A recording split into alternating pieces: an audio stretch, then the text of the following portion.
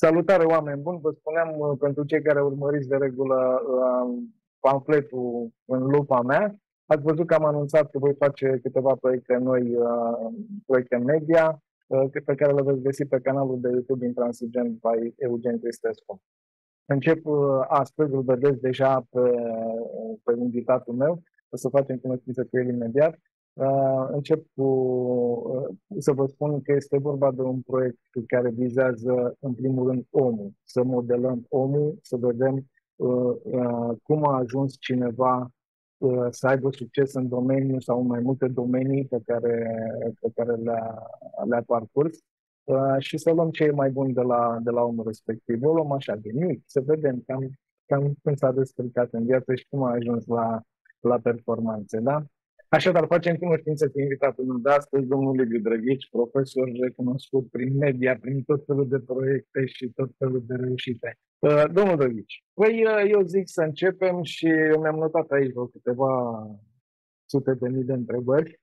Și o luăm de Înainte de toate, uh, dăm voie, te rog, să salut și eu.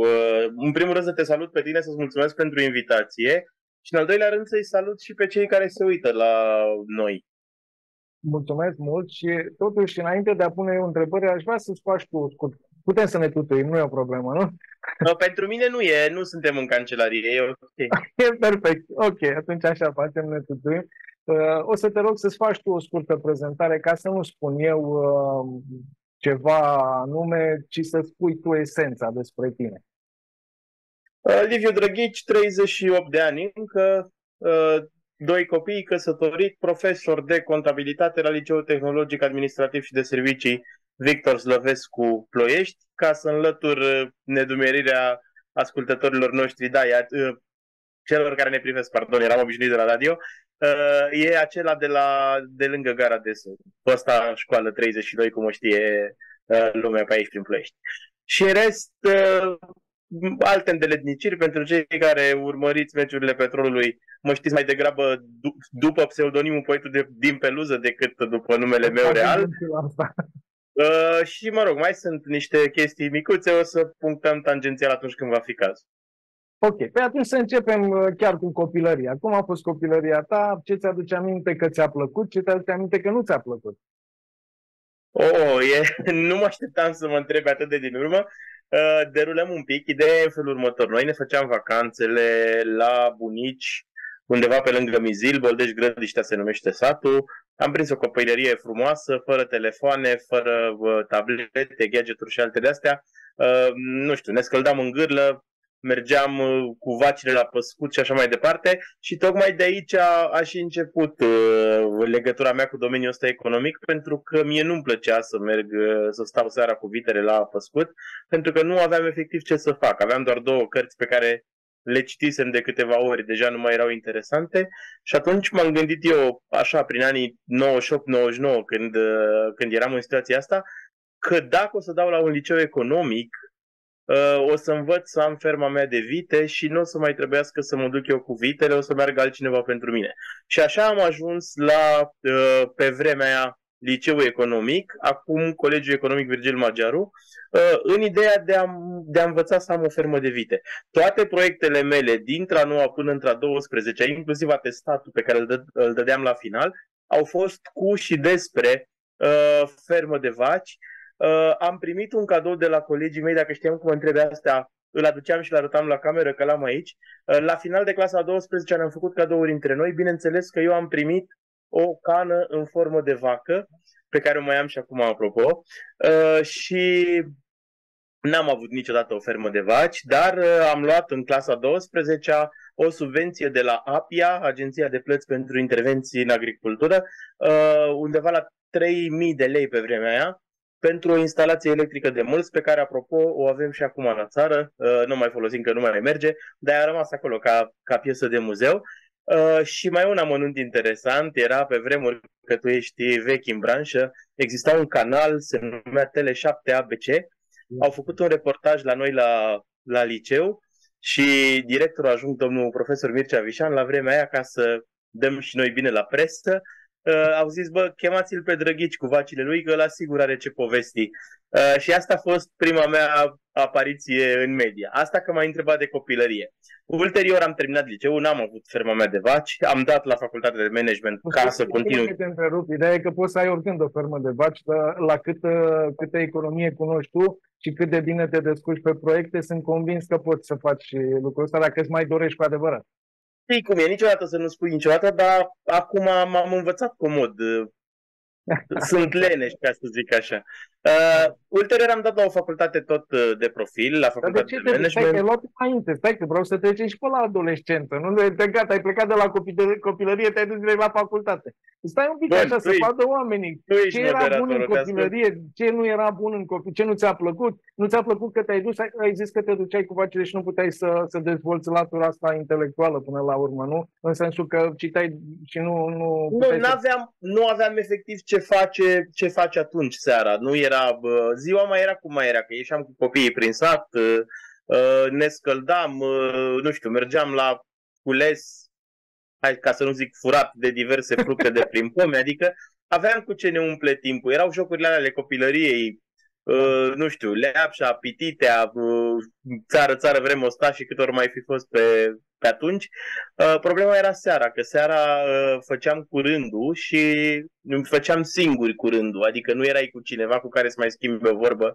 Uh, și da, ăsta cred că ar fi singurul lucru care nu mi-a plăcut atunci, faptul că atunci când mergeam cu vitele, mergeam singur și nu aveam cu cine schimba o vorbă, dar rest cred că am avut o copilărie frumoasă, nu cu atâtea lucruri pe care le au copiii din ziua de azi, dar cred că faptul că uh, eram un pic, nu neapărat săraci, că nu eram săraci, dar clasa de mijloc din anii 2000 era mult sub uh, posibilitățile clasei de mijloc de acum.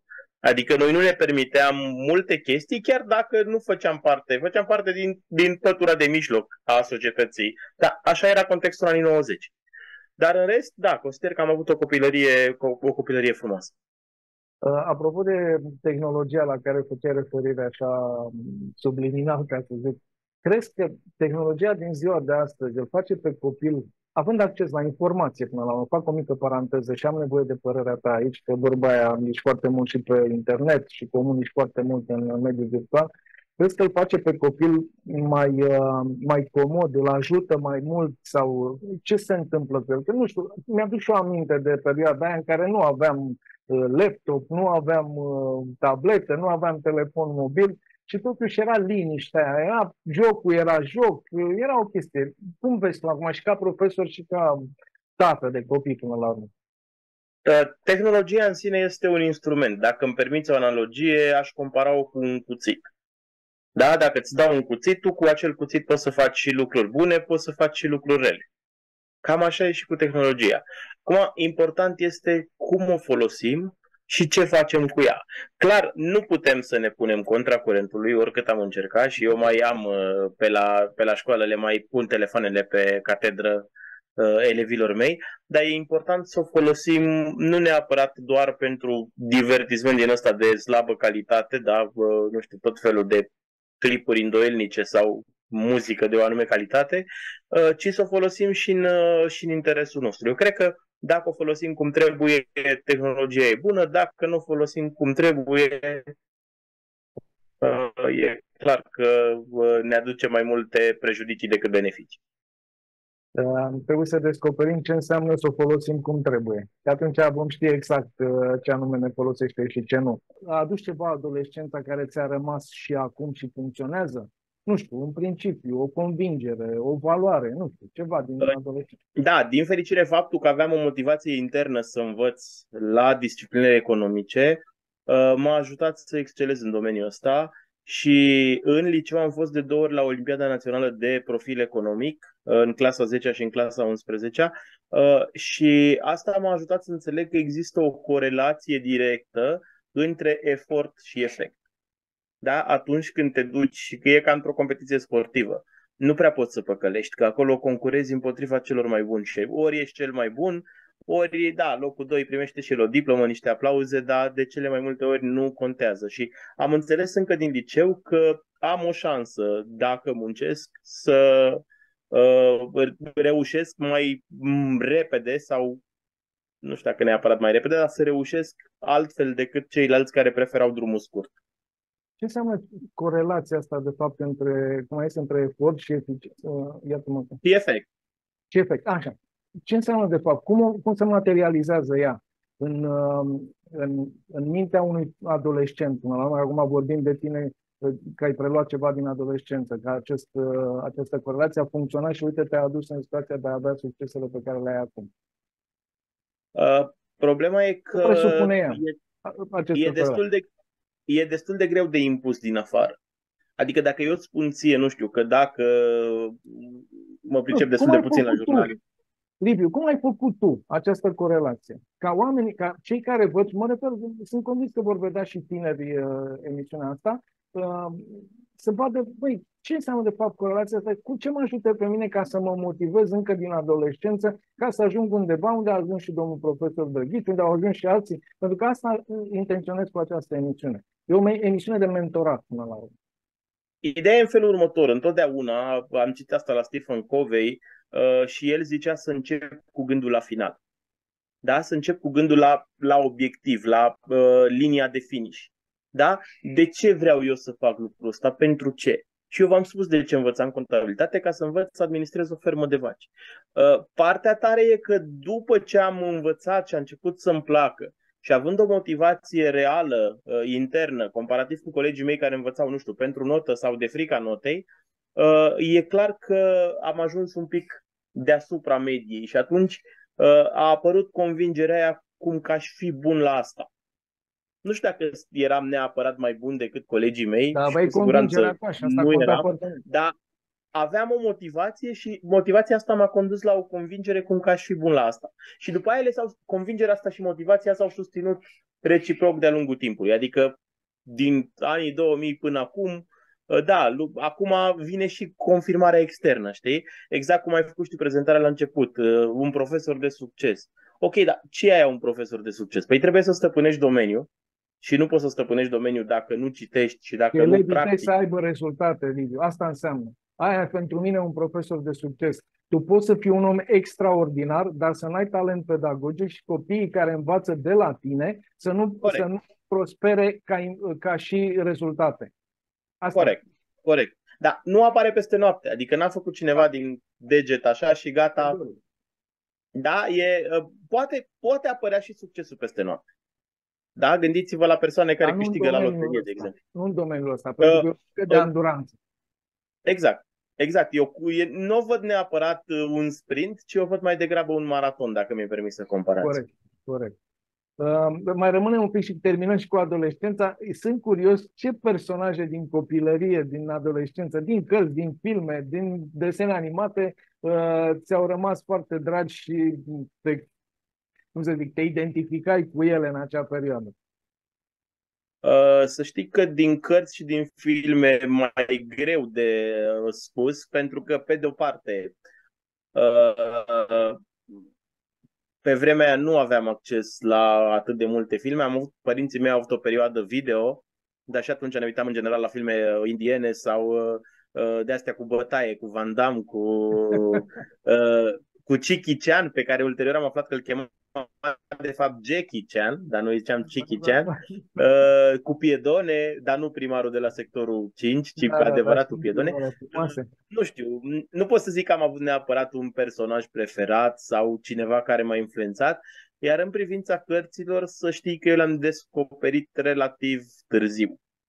Uh, spre rușinea mea, deși aveam cărți în casă, în adolescență cititul n-a fost printre prioritățile mele. Eu am descoperit cititul când am început să fac naveta cu trenul la București uh, și când am început să citesc și alte lucruri pe lângă cele care îmi trebuiau pentru facultate. Dar asta deja trecem la tinerețea timpurie și povestim dacă e atunci. Am înțeles. Um, ce profesor ți-a plăcut în general în liceu și de ce? Oh, ai pus o întrebare bună. Uh, am un articol pe blog, nu fac neapărat reclamă, se numește 10 profesori care mi-au influențat, uh, care mi-au influențat cariera. Uh, și o să dau uh, câteva exemple, atâta cât se poate în timpul pe care le avem la dispoziție. să-l punem în uh, descriere la, la emisiune. Da, da, îți dau și îl pui în descriere la emisiune. Cred că, nu știu, nu e neapărat o ordine. Ți-i spun efectiv cum îmi vine în minte. O să încep cu cei care au plecat dintre noi, Dumnezeu să-i odihnească. Aș începe cu doamna profesoară Samanov, o doamnă de contabilitate de la care am învățat adevărata organizare și nu mă refer la organizarea contabilă, ci organizarea din viața de zi cu zi și cum te ajută contabilitatea și în uh, viața de zi cu zi, chiar dacă nu ești neapărat patron de firmă. Uh, aș începe cu, sau aș continua cu domnul profesor Coltofeanu Emil de limba română, uh, care m-a impresionat prin chestiile pe care le făcea pentru elevii lui în afara orelor de curs. Uh, aș continua cu domnul profesor Albu Gabriel de la Universitatea Petrol și Gaze. Uh, datorită dumnealui și domnului Emil Stan, pe care îl salut cu ocazia asta dacă uh, vede emisiunea, datorită dumnealor am urmat a doua facultate, pedagogia, pentru că mi-au plăcut în mod deosebit ca specialiști și ca profesori și ca pedagogi și am zis că ok, poate într-o zi voi fi și eu așa, mai am mult până departe, dar că prima cărămidă au pus-o dumnealor Uh, și apoi mai sunt, uh, mai este doamna Petrescu, care mi-a fost dirigintă uh, pe vremea liceului și colegă ulterior după ce am început liceul. Uh, cred că aș putea să-ți fac o listă destul de lungă și da, dacă din filme și din cărți n-am avut modele, uh, am avut norocul să am modele din, din viața reală, modele pe care puteam să le uh, văd, să le simt și cu care puteam să vorbesc efectiv. Ai făcut două facultăți, da? Hai să începem cu prima, amintiri plăcute, neplăcute și a doua, pe urmă, tot așa, amintiri plăcute, neplăcute. Sau ce a rămas din ele? Păi, uh, te-a ajutat prima, și te ajută în continuare. Prima facultate a fost managementul și uh, ca uh, aspecte mai puțin plăcute, ca să nu zic neapărat ne, neplăcute, uh, am constatat pe propria pele că una e informația teoretică și alta e activitatea practică. În anul 2 de facultate uh, am făcut prima firmă, se întâmpla în 2006 uh, și uh, pur și simplu am văzut că una e ce înveți la școală, alta e ce faci în realitate. Și încerc să fac și eu la orele mele cumva să între, întrepătund astea două domenii, da? să întrepătund teoria și practica reală a fost totuși o experiență bună, uh, am învățat uh, niște concepte și o să vi le spun că le puteți aplica și în uh, viața de zi cu zi. Țineți minte POC, POC, da? p vine de la planificare, O vine de la organizare și C vine de la control. Atunci când vă stabiliți un obiectiv, ăștia trei pași ar trebui să-i faceți. Să vă faceți un plan care să vă conducă de la situația actuală la situația pe care vă doriți, să vă organizați în așa fel încât să puneți planul în aplicare, pentru că dacă aveți doar o hârtie cu planul, nu valorează mare lucru și apoi din când în când să faceți un control, o verificare, să vedeți dacă sunteți pe traiectorie sau dacă sunteți în direcția bună și să faceți ajustările de rigoare. Cu asta am rămas de la management și cu soția mea care mi-a fost colegă de grupă. Nu are neapărat legătură cu conținutul, cu programa, dar e, e un beneficiu al facultății. Păi, e clar uh, un beneficiu. Din moment ce ai și doi copii frumoși și inteligenți, mi se pare că e cel mai mare beneficiu până la urmă. A, și eu zic la fel. Apoi, a doua facultate, ți-am zis de ce am făcut-o, i-am văzut pe acești doi profesori pe care îi respect enorm uh, și am zis, ok, uh, dacă există o facultate de așa ceva, vreau să o fac și eu pentru sufletul meu. Nu vroiam neapărat să fiu uh, profesor pe vremea aia, dar am zis că pentru sufletul meu fac și facultatea asta. Într-adevăr, acolo procentul profesorilor cu vocație Uh, a fost mult mai mare și cred că e mult mai mare uh, comparativ cu orice altă facultate din uh, țară. Nu mă refer numai la pedagogia din Ploiești, dar mă refer la pedagogie în general. Și am învățat foarte multe lucruri acolo. Apoi, firesc, a urmat și cât un master pe fiecare specializare, în care am aprofundat un pic domeniul și din al doilea an de facultate am avut o multinațională care a venit la noi în oraș. Am să aici, bine că ai dezvoltat. Uh, undeva între uh, Universitatea de Petrol și Gaze și Hipodrom. Nu vreau să dau numele că nu facem reclamă. Uh, cert e că vreo 8 ani de zile, din 2006 până în 2014, uh, am fost acolo și aia a fost o adevărată școală uh, de business reală. A fost primul meu loc de muncă la vremea aia. uh, nu voiam să mă angajez. Pe vremea aia eu cântam la nunți și era destul de bine, vorbim de până în criza din 2008. Uh, se făceau bani frumoși din treaba asta, uh, plus că aveam și firma de care îți povesteam, adică am zis de ce să mă duc eu să lucrez pentru cineva, uh, doar că soția mea actuală, care mi era doar prieten atunci, a trimis, a trimis și CV-ul meu. și m-au sunat oamenii aia să mă cheme la interviu și am zis ok, merg să văd ce e la un interviu de angajare real, că noi nu văzusem în anii în 2006 Uh, și m-am dus acolo, uh, m-au sunat că m-au acceptat și zic ok, nu cred că ar trebui să dau cu piciorul oportunității, uh, după care uh, mi-a plăcut pentru că uh, lucrurile sunt, uh, știu, sunt unii care blamează corporații multinaționale, uh, naționalisme, populisme de astea ieftine, dar lucrurile acolo sunt așezate, există proceduri, există o oarecare rigoare, da, sunt multe de îmbunătățit și în sfera asta și nu vreau să, nu știu, ridic în zlăvi multinaționalele, dar e clar că acolo existau niște posibilități reale de dezvoltare uh, și am reușit într-un timp relativ scurt, cam șase luni, să trec de la uh, steluță 222 de la cască la uh, poziția de șef de echipă și aveam o echipă de oameni care făceau asta. Dar undeva prin 2014, când Uh, lucrurile deja început să se așeze pentru mine din punct de vedere financiar, uh, am luat decizia că e mai important timpul decât uh, banii pe care îi câștig de acolo. Mi-am dat demisia în decembrie 2014. Am dat titularizarea în 2015 ca să fiu profesor am luat o notă destul de mare, peste 8, în condițiile în care uh, minimul necesar pentru titularizare era 7, că tot uh, sunt tot felul de articole prin presă în momentul ăsta, uh, doar că linia s-a tras deasupra mea.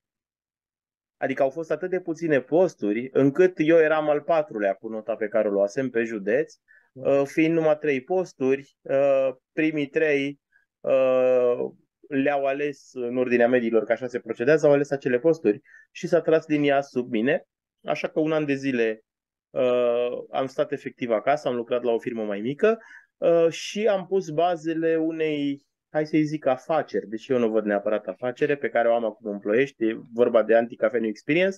Uh, în decembrie 2015 am înființat respectiva firmă. În februarie 2016 am deschis pentru publicul larg și tot în 2016 am dat din nou titularizarea. De data asta linia s-a tras sub mine, adică am fost primul deasupra liniei.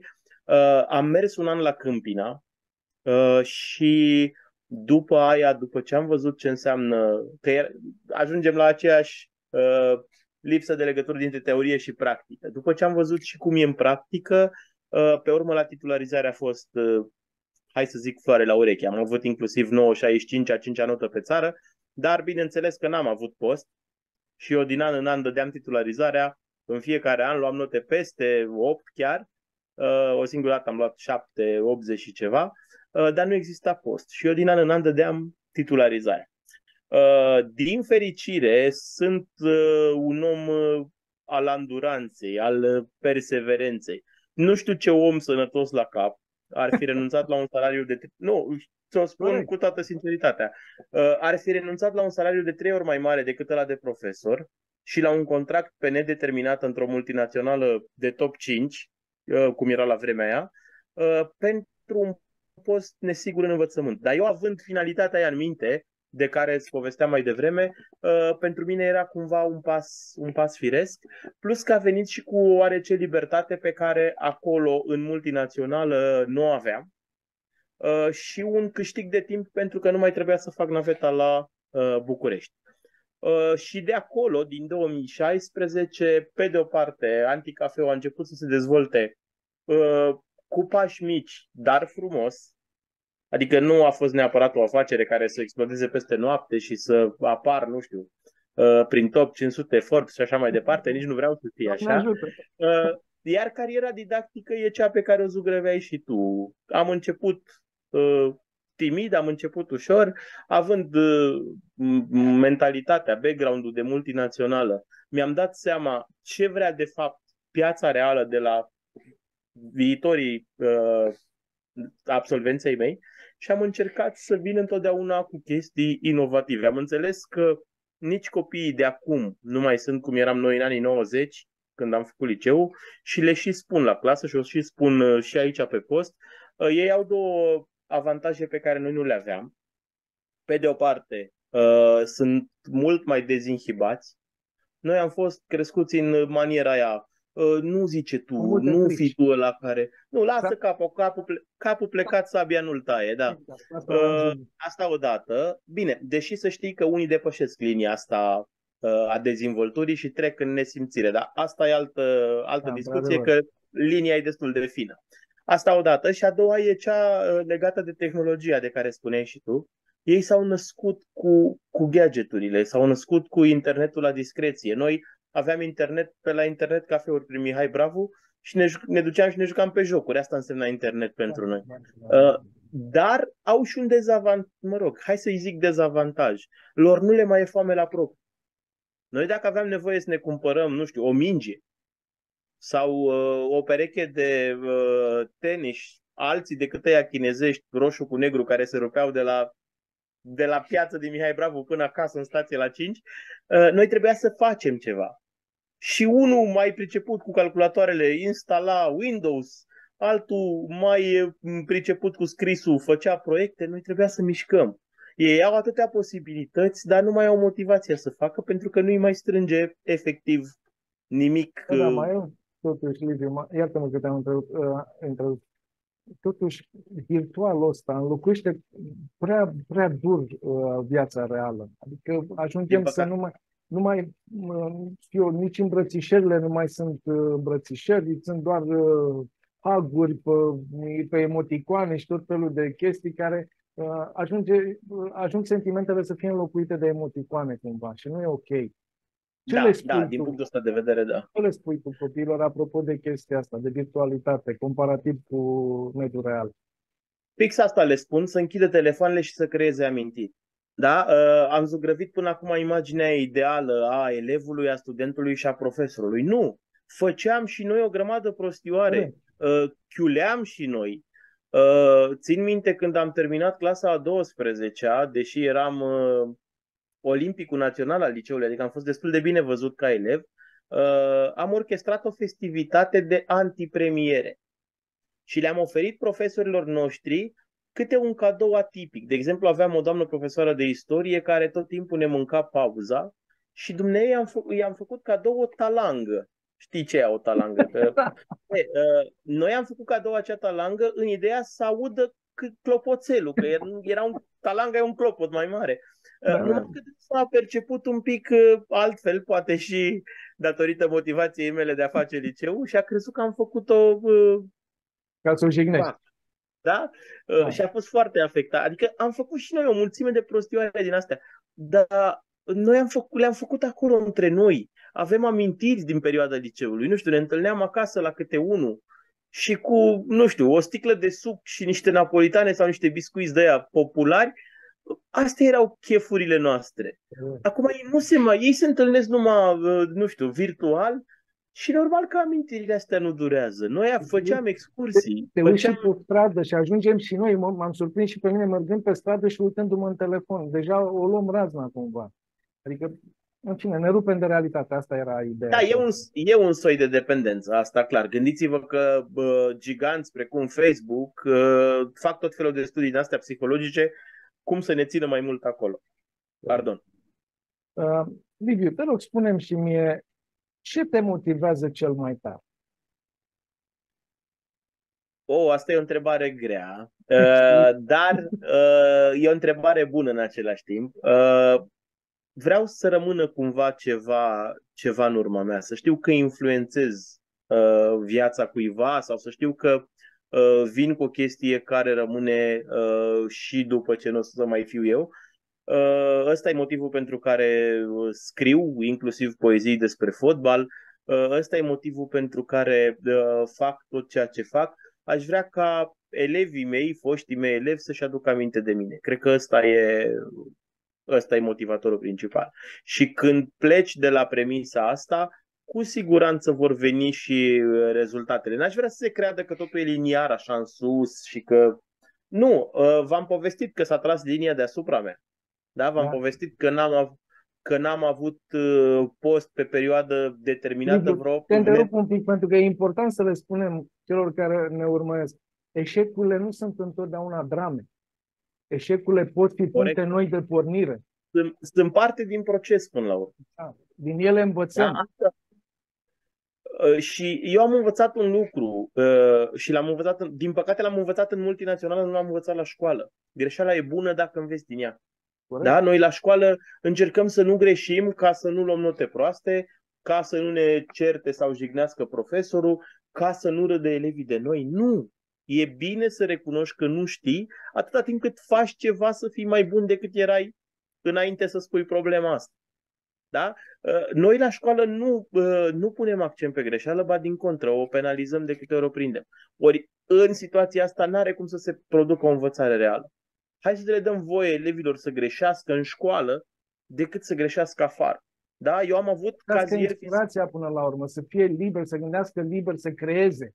Că asta e ideea, exact. să creeze. Că dacă îi ții sub chinci, cum am fost noi, da? deci nu aveai voie să zici aia, că te ceartă profesor, nu, nu. Deja te dezvolți altfel. Dacă te lasă, ai libertatea să, să creezi, să lași mintea să creeze. Vreau să fac o mică paranteză, că am observat că apare ca un light motiv antic ai anticafe și ai mai zis anti cu profesoara respectivă. Uh, de ce acest... Da. Ești antisistem? Ești cumva... Uh, nu știu dacă sunt antisistem în, în modul în care sunt unii care apar pe la televizor, uh, dar e clar, e clar că singura constantă e schimbarea. Uh, și când vorbim de un sistem, și tu știi mai bine decât mine că te lovești zi de zi de chestia asta, Uh, nu neapărat că oamenii ar fi uh, răuvoitori, deși mai sunt și din ăștia, uh, dar mulți dintre ei sunt reticenți la schimbare tocmai din comoditate. Sunt în zona și atunci confort. e clar că dacă facem lucrurile la fel de fiecare dată, vom obține aceleași rezultate de fiecare dată. De asta o spune Einstein, știi foarte bine că zice definiția nebuniei. Da, este da, să faci da, da, da. lucruri și să ai impresia și să ai așteptarea să se schimbe ceva. Și nu se va schimba niciodată dacă faci aceleași greșeli. Și atunci hai să provocăm un pic, un pic situația asta actuală și să încercăm să facem diferit. Nu sunt neapărat uh, împotriva uh, cuiva sau a ceva, dar sunt de părere că putem, oricând putem face lucrurile mai bine. Uh, cu ce mă lupt în momentul de față este să nu mi se urce la cap da? să rămân cu picioarele pe pământ, să înțeleg și eu le dau. Elevilor mei le dau la fiecare sfârșit de an școlar o foiță pe care să-mi scrie trei lucruri care le-au plăcut și trei lucruri care nu le-au plăcut sau am putea să le facem mai bine. Și din fericire pentru mine ă, îmi răspund și, și pe partea cealaltă a foii. Și îmi spun, uite, asta, asta. Și eu în fiecare an sunt, zic eu, din ce în ce mai bun, dar și datorită elevilor mei. Sau, ă, la fel, dacă am un coleg și din fericire uh, la uh, Merito există o comunitate de colegi de genul ăsta, de la care pot să învăț. Nu e nicio rușine să înveți. Da? Nu le știu pe toate. Da, uh, citesc cărți multe. Să modelăm, să luăm de la cei mai buni, să fim și noi cel puțin la fel de buni ca ei. A, a copia de la cineva, a lua cei mai buni, nu înseamnă că e o rușine, cum bine spui. Este un, Corect, o cale uite, de progres alt lucru pe care nu-l învățăm în școală. Noi nu știm să lucrăm în echipă. Eu mă duceam acasă. Eu eram foarte bun și nu, adică nu mă laud sau așa, uh, la discipline economice, dar eram catastrofă la matematică, fizică, chimie uh, și tot ce ieșea din sfera mea de, de, de interes. Și mă duceam acasă cu o notă mică. Am avut, apropo, am avut 5 la matematică, să nu se crede că am fost vreun geniu. Uh, mă duceam acasă cu lucrarea și prima întrebare pe care o primeam era, da, X cât a luat? Da? X poate era colegul meu de bancă sau un prieten din clasă. E, eu am învățat, inconștient, să nu mă bucur de succesul ăluia. Că ăla, ă, dacă avea succes, înseamnă că n-aveam eu. Ă, în schimb, când era invers, da, și eu mă duceam la, nu știu, la, la contabilitate aveam numai 10, uh, și îi spuneam, pe tata, știi, am fost singurul 10 din clasă. Eh, ce mă interesează pe mine de alții? Da? Iată. Invers era, era altă placă. Și din păcate, că le povestesc asta elevilor mei, și uh, din păcate s-a perpetuat chestia asta. Și noi, ca români, noi nu știm să lucrăm în echipă. Ia un român și dul într-o echipă uh, care performează și va fi, uh, nu știu, piesa de bază de acolo. Ia doi români și pune-i să lucreze unul cu altul, că e clar că ceva, ceva se strică pe parcurs. Ce spuneai tu, sunt de fapt complexele alea care se formează în copilărie și uh, ajunge adultul să se lupte cu ele inconștient. Și atunci, da. în loc să se dezvolte, să-și caute un, un, un drum al lui, să se identifice pe el însăși, însuși și să, uh, și să meargă mai departe, să caute, să, să, să se dezvolte personal și spiritual, el va, va, își va pierde timpul și își va consuma energia luptându-se cu ceea ce a rămas uh, ca și program din trecut. Dar asta e altă Corect. discuție. Vreau să mă felicit pentru că, mai avem de până la final, dar vreau să mă felicit pentru că te-am ales uh, pentru această emisiune de mentorat, pentru că ai spus mai devreme și nu vreau să treacă neobservat, uh, ai spus mai devreme că uh, te motivează faptul că vrei să rămână ceva după tine. După tine. Ceea ce înseamnă că, într-adevăr, ai doleități de mentor. Asta am vrut să subliniez. Hai să mergem mai departe și spun Mulțumesc, că apreciez. Le spun una grea acum, să te văd cum te descurci. Uh, există diferențe în planul de educație uh, pentru copiii tăi și pentru ai tăi copii de acasă și cei cu care uh, interacționezi ca și profesor? Eu le spun uh, copiilor mei de la școală, în momentul în care am prima oră la o clasă, uh, le spun motivația mea, viziunea mea de profesor. Vreau să fiu profesorul pe care l-aș vrea pentru copiii mei și vreau să fiu profesorul și să-i pregătesc de așa manieră încât după terminarea liceului să am curaj și încredere să le las pe mână banii mei. Uh, ce înseamnă primul lucru? Vreau să fiu profesorul care, pe care mi-ar plăcea să-l aibă copiii mei. Uh, niciodată nu țip la elevii mei. Uh, niciodată nu i-am făcut uh, proști sau altcumva. Uh, s-a întâmplat să jignesc din greșeală o singură dată, uh, dar m-am dus și mi-am cerut scuze. Uh, dar, pe de altă parte, nici nu vreau să treacă ora doar de dragul de a trece. Da? Că nici pentru copiii mei nu vreau lucrul ăsta. Uh, și din fericire, majoritatea, marea majoritate a elevilor mei înțeleg și apreciază lucrul ăsta. Adică nu, nu o să fie o oră de aia cool în care, da, ok, facem multe, învățarea prin joc e o tehnică de învățare. Dar nu înseamnă că venim și stăm degeaba sau ne uităm pe geam sau ne uităm pe telefoane sau eu fac cine știe ce și îi las pe ei în durerea lor acolo să, să treacă ora. Nu. Uh, și în al doilea rând, al doilea pilon, acela de a îmi pregăti elevii ca și cum ar fi nevoie să le las pe mână banii mei, uh, la Anticafe de care îți povesteam, din 2017, de când mi-a terminat prima promoție de elevi, cu o singură excepție, uh, toți angajații mei au fost foști elevi de mei. Deci e dovadă că această, acest deziderat pe care mi l-am propus s-a și împlinit și mă bucur pentru ei că ajung după ce pleacă de acolo să facă nu un pas înainte, ci doi, trei pași înainte uh, datorită background-ului și datorită a ceea ce, ceea ce învață acolo. Uh, da, asta așa ar trebui din Există punctul meu de diferențe? vedere. Există diferențe? Între... Uh, există doar pe, doar pe prisma vârstei. Acasă lucrez cu copii de 8 și 10 ani și atunci trebuie să explic la nivelul lor. Am înțeles. Uh, la liceu vorbim de uh, adolescenți, 15-19 ani și atunci... Planul de educație e, e același. Uh, păi eu încerc să... Bine, nu te gândi că fac cu copiii contabilitate în casă, uh, nu, deși să așa, știi că... Grosomodul educația, da, nu? Da, ca și, ca și competențe, ca și finalități, e clar că ce vreau pentru copiii de la liceu vreau și pentru copiii mei de acasă. Numai că... De exact. Am înțeles. Hai să ajungem și la poetul din uh, Peluză că ne apropiem de final și nu vreau să, fie, să pierd ceva. Uh, ești cunoscut ca poetul din Peluză. Când și cum a început acest lucru și vreau să faci, pentru că știu, am participat la un concurs de-al tău uh, în care făceai poezie instantaneu. Da, și vreau, mi-aduc, mi-aduc da, aminte. Da, și vreau să faci o strofă despre te las pe tine să alegi și subiectul. Că e politic, că e fotbal. Păi, nu, cred că, cred că mi-ar fi mai ușor să-mi dai tu subiectul ca să restrâng okay. un pic. Uh... Ok, atunci spune-mi, spune când și cum a început totul ca, cu tine ca poetul din Peluza. Uh, ideea e în felul următor. Eu scriam uh, pe parcursul școlii generale și uh, uh, în general am scris poezii din astea uh, lirice, ca toată lumea, da? Mă rog, ca toată lumea, ca toți poeții.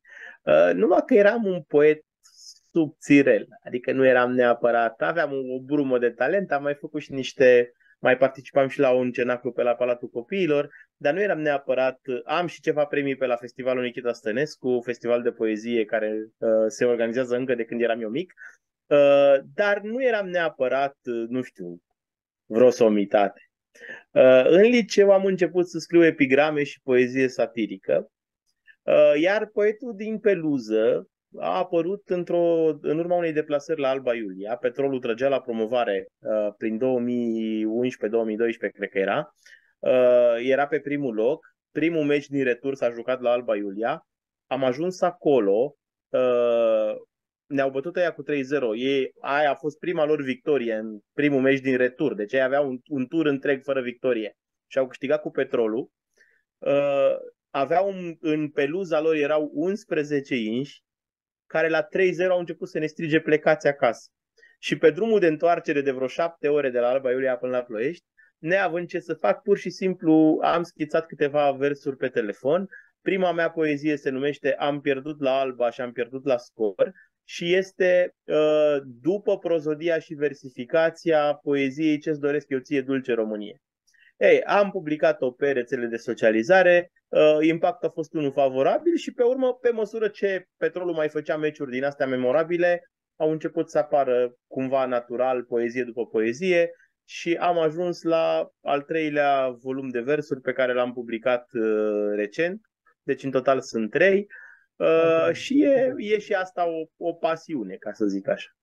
Am înțeles. Păi să mă, m-am tot gândit. În mintea mea derula niște variante de, de poezie, ce să-ți dau ca temă. Uh, m-am dus spre uh, eu, bani, averi versus iubire, spiritualitate. Te bagi la o chestie de asta sau ne gândim doar la România? Să vorbim imaginea ta despre România într-o poezie. Astea sunt două variante. O, Uh, aici e o provocare destul de complicată pentru că din, nu știu, să zic din păcate, uh, chiar dacă despre România ca țară, ca loc, uh, am o părere foarte bună, despre România ca stat sau ca aglomerație, ca, nu știu, populație, n-am neapărat... Nu, mergem pe varianta asta. Dacă e deja mai provocat ca să ce să aleg. Uite, asta aleg și uh, vreau să-mi promis că faci una și cu iubire, uh, spiritualitate versus, uh, versus banii și averi. Și mi-o dai tu ulterior și o public pe intransigent. Mi-ai, mi-ai ridicat mingea destul de sus la fileu, dar uh, da, hai să încerc să câte ceva. Uh, într-o seară călduroasă, Uh,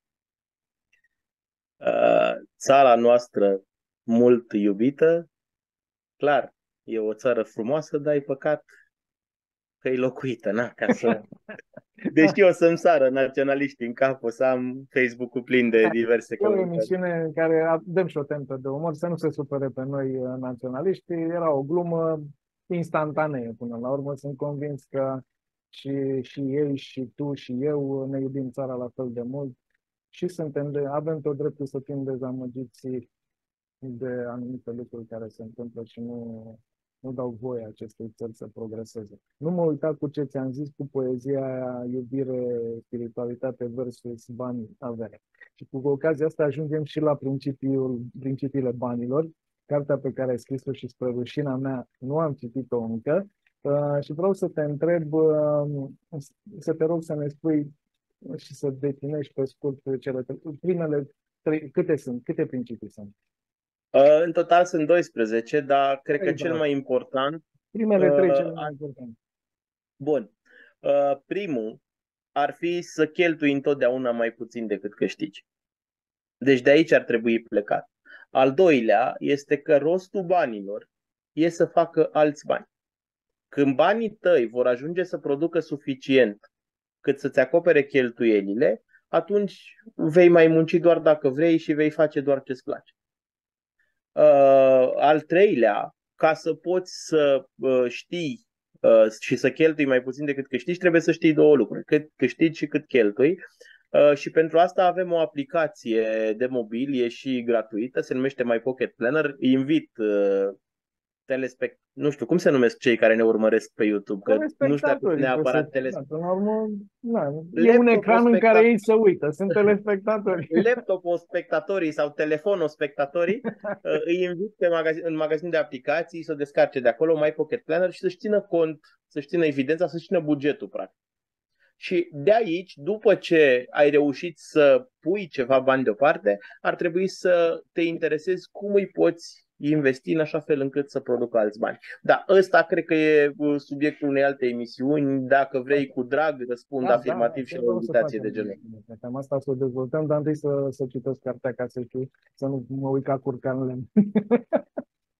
Așa. Uh, ai apărut în presă recent cu ceva inedit. Ți-ai recompensat elevii din fonduri proprii, ducându-i la mare pe cei cu rezultatele cele mai bune. Cum ți-a venit în minte această formă de validare? Că până la urmă asta faci tu, îi validezi și îi ajuți să își crească încrederea în ei prin faptul că îi apreciezi. Văd apreciere de undeva. Contează foarte mult. Când, când eram și eu în liceu, Uh, ziceam mai devreme că posibilitățile clasei de mijloc de la vremea aia nu erau uh, cele ale clasei de mijloc de acum. Uh, am fost de două ori în tabără pe cheltuiala, nici nu știu dacă mai există acum în forma asta, Direcției Județene de Tineret și Sport. Se pare că mai e. Probabil mai e, dar nu se mai numește așa.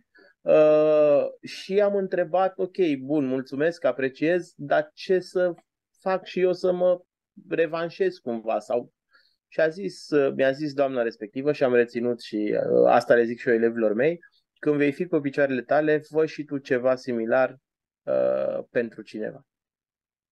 Da, n-am mai văzut persoana respectivă de atunci.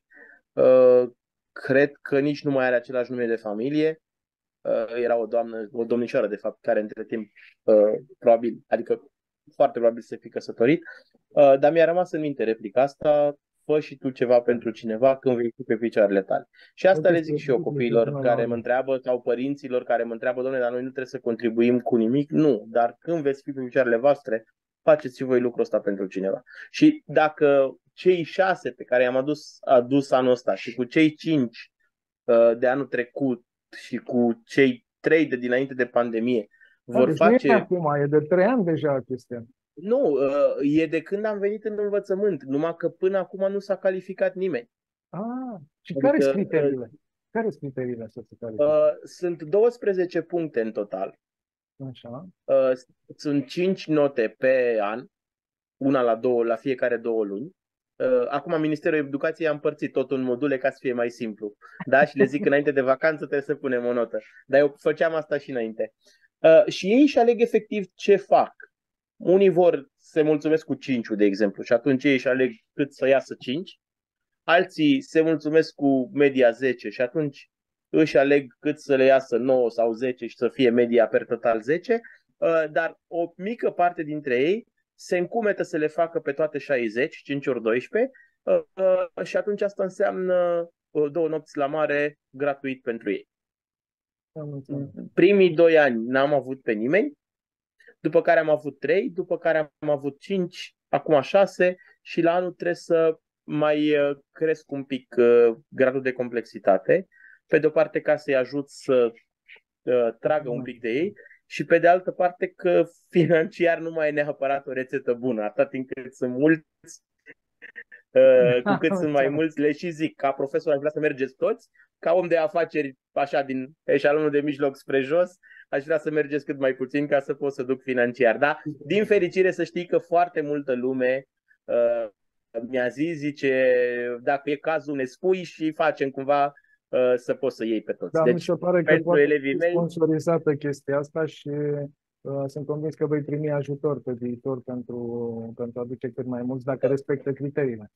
Cu siguranță da, numai că m-am ferit de zona asta de fonduri publice, politică Dar și nu așa mai fonduri departe. publice. Dar de ce să fie fonduri publice?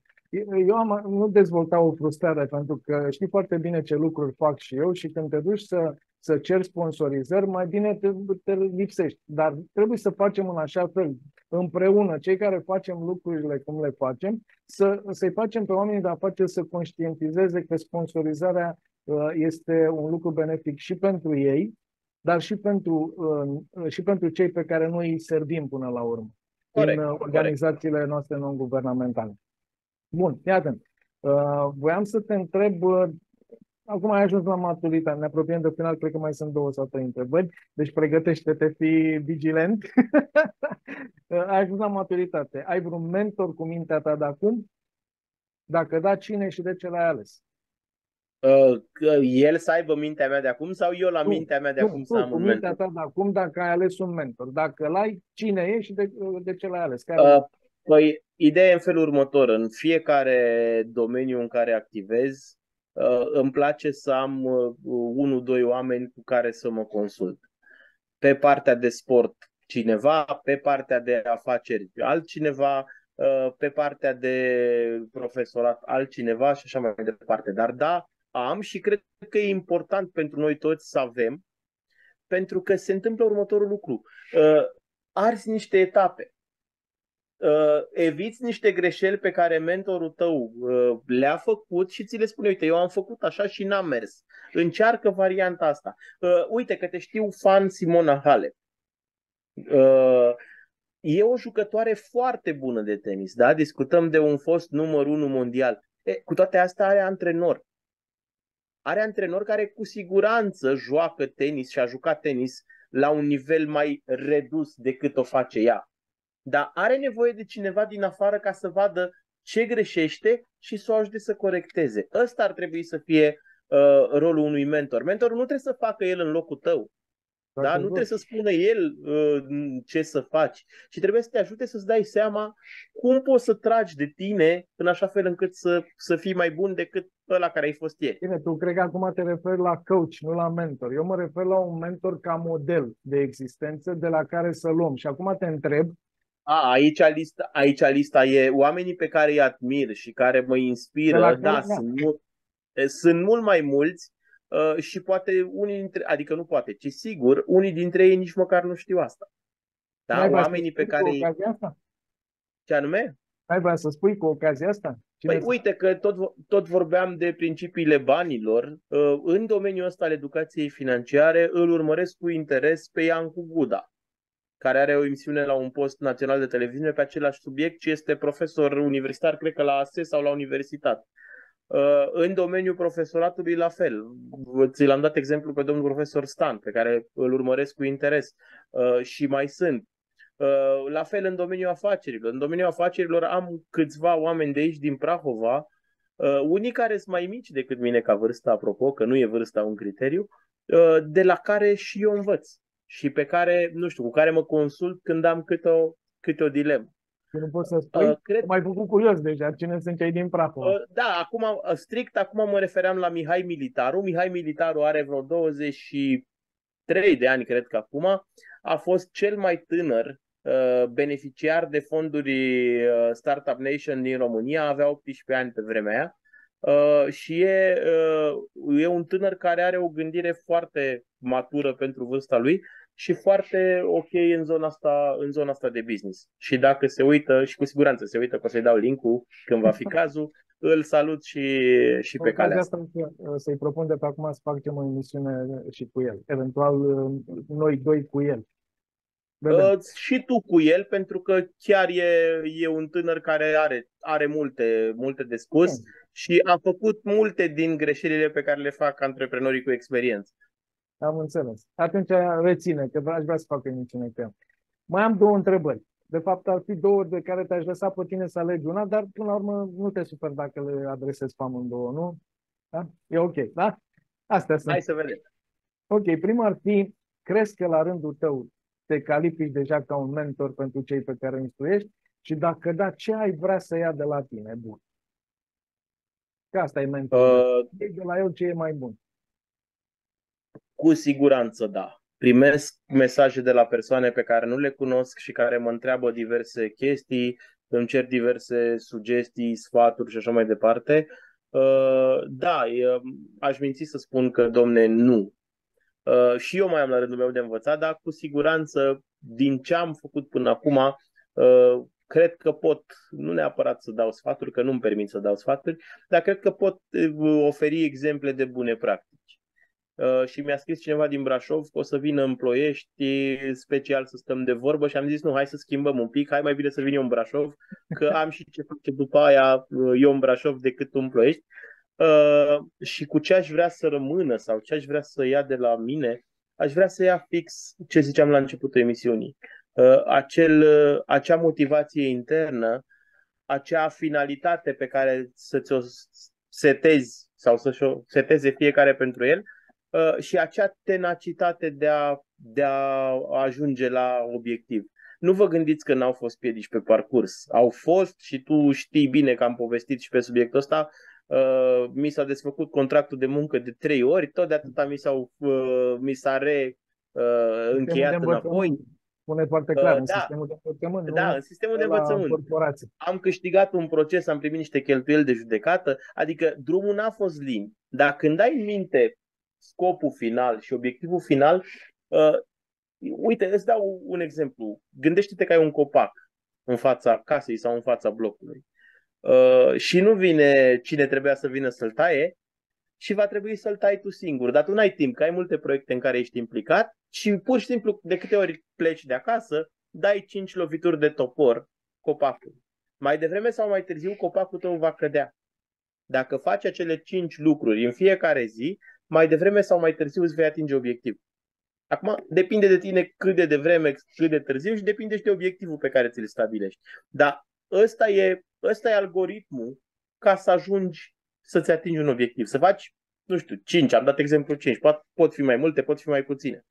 Și ce înțeleg eu de la tine că vrei să ia oamenii, cei care ar putea să, să te vadă pe tine ca mentor? Strategia, capacitatea de a crea strategie și perseverență. Da, da. Astea două lucruri, da? Reiesc din ceea ce am ascultat că ai spus tu mai devreme. E ok, da? da absolut corect. Tu, tu ești omul, de, omul cuvintelor dintre noi doi, ai rezumat perfect ce am vrut okay. să zic. Bun, și ultima întrebare, eu cu o tent așa de intransigent, că nu puteam să o las așa pe final. Ehm, dacă ai fi ministru educației, în ce ar consta reforma pe care ai face-o pentru ca sistemul de educație să funcționeze în apropierea performanțelor celui finlandez sau chiar mai bun, de ce nu? Uh, bun. În primul rând, ca să înlăturăm orice speculație, nu voi fi niciodată ministru educației. Uh, adică ce ai schimbat? Am, mă interesează schimbarea, nu uh, dacă am avut, uh, eu m-aș bucura să ajungi, că poate faci ceva. Am avut ocazia la Merito, ca apropo de mentori, uh, să asist la câteva, să asist live așa pe viu Uh, la câteva uh, prelegeri ale domnului profesor Miclea, uh, unul dintre profesorii universitari respectați de la noi, care a fost și ministrul educației și și-a dat demisia pentru că n-a primit acei 6% din PIB care erau specificați în legea educației. Deci ăsta ar fi primul lucru pe care l-aș face. Aș cere să se respecte legea și educația să fie finanțată. Aș elimina tot ce înseamnă toalete în curte, da? aș dota școlile cu internet calculatoare și ce mai necesar, că nu mai poți să faci școală doar cu creta pe tablă. Uh, și aș umbla un pic, dar nu știu cum să-ți spun acum, uh, și la performanța profesorilor. Învățământul românesc, și o spun cu toată răspunderea, știu că se uită și factori de decizie la noi, dar îmi asum, a ajuns o goană după hârtii, o teorie a formelor fără fond, o, un teanc de diplome fără relevanță doar ca să faci niște puncte și să iei niște bani în plus. Nu. Finalitatea ar trebui să fie ceea ce scoți, ceea ce livrezi. Și mă refer aici la absolvenții tăi. Că ești educatoare, că ești învățătoare, că ești profesor de uh, gimnaziu, că ești profesor de liceu sau și profesor universitar, uh, aici ar trebui să ne uităm. E, e aberant ca persoane care dau bacul să poată să-și depună dosar de șomaj.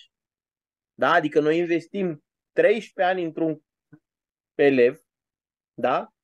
Poate ia, poate nu ia bacul, nu discut asta acum, și după aia el își pune dosar de șomaj. Păi unde e eficiența? Adică eu investesc 13 ani și după aia mai plătesc și indemnizație de... dreptul lui la muncă până la urmă, nu poți să-l îngrădești. Și atunci care ar fi soluția ca să nu mai existe acest șomaj pentru ei după ce termină liceu? Că piața muncii păi, nu le uh, oferă prea mult. Uh, nu, uh, e o întrebare destul de dificilă să-ți răspund acum. Dacă mă lași să mă pregătesc, îți promit că facem o emisiune okay. numai pe asta. Dar e clar că trebuie să legăm performanța de uh, reușita elevilor. Și aten- atenție, nu vreau să se ducă toți să studieze în străinătate sau să ia toți bacul cu 10, că n-ai cum. Poate ești profesor la uh, o școală profesională. Ok, hai să-l punem pe absolventul tău de la specializarea bucătar să facă chiftele. Ai avea curaj să mănânci chiftele din mâna absolventului tău? Dacă da, atunci înseamnă că ești un profesor bun. Dacă e bancul ăla cu avionul, nu știu dacă îl știi. Nu. Că la, la absolvirea unei secții din asta de aeronautică, uh, profesorii și studenții sunt invitați toți în avion și le spun că, bă, ăsta e testul final, uh, o să dăm o tură cu avionul ăsta pe care l-ați făcut voi. Uh, moment în care toată lumea se înghesuie spre ieșiri, cu excepție zice, domnule, la cum îi știu eu pe ăștia, nici nu o să pornească chestia asta. Da? Nu trebuie să facem absolvenți de uh, aeronautică și care să nu știe să pornească avionul. Trebuie să Dar ne uităm... să fie analfabetismul funcțional uh, uh, regula. Da, uite alt, uh, alt aspect care e problematic. Da? Și am avut, uh, cred că am depășit timpul, dar nu mai contează. Uh, s-a dau de la mine trei minute. S-a organizat la, la un moment dat la Ploiești Festivalul Internațional de Educație. Era o ploieșteancă de noastră, Alexandra Anton, care a studiat în Finlanda și a adus profesori de Uh, din Finlanda, din Singapore și din alte țări de, gen, pardon, de genul ăsta cu sisteme de învățământ avansate și eu mă trezeam cu reacții din partea profesorilor români și s-ar putea să se uite la noi și mi-asum asta, care spuneau că ce să învățăm noi de la finlandezi? Că ăia sunt cu droguri, sunt cu... Sau care ziceau, a, pe păi și ce? Mă duc acolo și n-au dat și ei măcar o pizza. Cam aici suntem. Cam aici suntem. Da? Mai și atunci ar trebui... elevii să, să, nu, să, să nu ajungă și ei cumva să se gândească la fel. Da. Uite, îți mai dau un exemplu. Vreau să încheiem într-o notă tristă, Liviu. Dar nu, asta trebuie să ți-o spun. Da. Uh, apropo de mentori pe care i-am în domeniul de business, unul dintre ei uh, este Dragoș Petrescu, are un lanț de restaurante City Grill în București uh, și a fost și pe la Imperiul Leilor, Alena Leilor în juri. Uh, și am participat la un curs online, eram pandemie, un curs online de, de-al lui. Eram vreo 4.000 de oameni acolo la curs și la sfârșit a luat întrebări din, de la noi, da? pe, pe chat. Și am primit, am făcut prin screen, dacă vrei îți trimit, dacă o găsesc îți trimit. Uh, la sfârșit primim adeverință. Eu care știam ce se întâmplă. Pe mine m-a venit râsul instant. Uh, dar Dragoș Petrescu, săracul, el venind din mediul de business, a întrebat adeverință pentru ce? Femeia avea nevoie să pună la dosar că a fost la cursul ăla.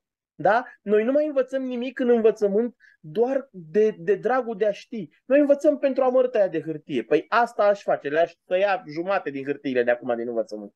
Și practica să fie mult mai multă decât, decât știu eu, câteva ore de, de studiu acolo. Pentru că e foarte important. Până la urmă, fără practică, nu, dez, nu dezvoltăm uh, abilitățile necesare, indiferent cât am studiat pe, pe bancă acolo sau Corect. pe web, sau mai știu eu cum. Liviu, îți mulțumesc din suflet, a fost o încântare. Sper că toate emisiunile de acum încolo pe, pe structura aceasta, în acest nou proiect media, să fie cel puțin la fel de bune. Uh, îți mulțumesc, îți doresc succes și sper ca oamenii să ia ce e mai bun de la tine, pentru că au avut foarte multe de învățat uh, în această seară. În uh, această... Mulțumesc și eu pentru invitație. Recunosc că a fost altfel decât mă așteptam eu, dar mi-a plăcut și dovadă că a trecut mai bine de o oră și uh, nici nu ne dăm seama când, uh, când s-a dus.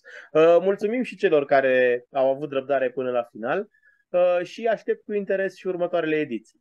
Doamne ajută! Mulțumesc mult! Dragii mei, încheiem aici. L-ați avut pe Liviu Drăghici ca invitat.